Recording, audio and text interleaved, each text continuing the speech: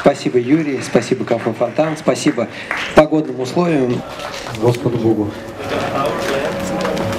Со вкуса, спокойно. Всем в нашей планете.